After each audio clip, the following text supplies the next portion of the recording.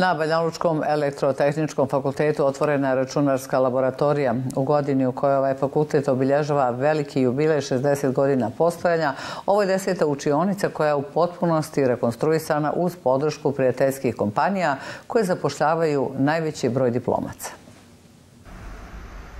Elektrotehnički fakultet nema nezaposlenih diplomaca, konkurentni su u brojnim svjetskim kompanijama. Od danas na raspolaganju imaju novu računarsku laboratoriju i dodatnu priliku za usavršavanje.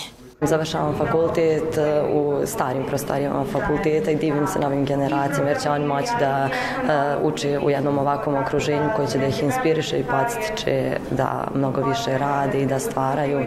Ovo je deseta učionica koja je u potpunosti rekonstruisana i opremljena po najnovijim standardima. Koristit će je studenti smjera računarstvo i informatika za razvoj softvera.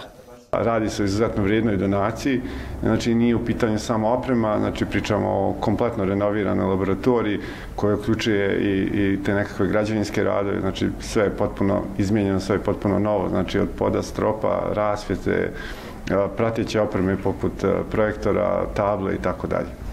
U najbrže rastućoj IKT industriji važno je pratiti trendove, zato je važna podrška prijatelja fakulteta, kompanija koje zapošljavaju inženjere elektrotehnike.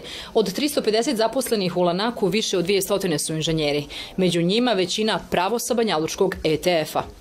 Realno mi svi zajedno moramo puno prije nego što je taj kadar potreban da ulažemo u njega, kako naše vrijeme, tako znanje i, i, i novac ovaj, i samo u toj sinergiji koliko ona bude ovaj, jaka, toliko će biti dobar i rezultat. 25. novembra Elektrotehnički fakultet obilježava jubilej 60 godina postojanja. Do tada svi planirani radovi na adaptaciji i rekonstrukciji laboratorija i učionica biće završeni, pa će hiljadu studenta na ovom fakultetu imati najbolje uslove za studiranje.